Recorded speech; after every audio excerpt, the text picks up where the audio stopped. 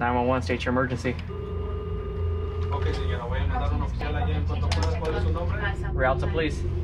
When I first got there, um, immediately I, you know, got on the phone with him, had started a conversation with him. You know, I didn't introduce myself as I'm this big RoboCop. I'm human also. I said, my name is David Padilla. I'm here to, you know, what can I help you with? I never said I'm a detective. I'm a hostage negotiator.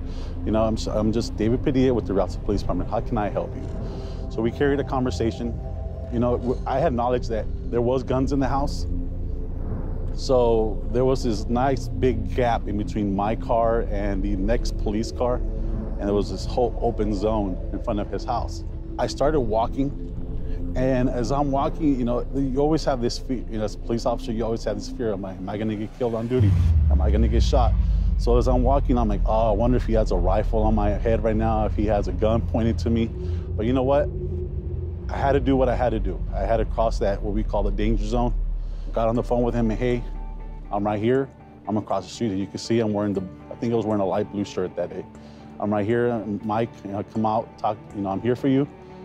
And within minutes, he's like, okay, I'm gonna come out. Just please tell him not to hurt me. So I was like, I'm here for you, Mike. I mean, you're gonna come here, gonna, I'm gonna shake your hand, you know, we're gonna work through this. It's an honor and a privilege. I really do thank everybody who chose us. You know, it's a very traumatic incident, which could have ended a lot worse. Um, just like any other police officer, sheriff, highway patrolman, anybody across the nation in law enforcement, just doing our job. But it's nice to know that there's people out there that support law enforcement and in this situation that they recognize the good work that we do, not just the negative.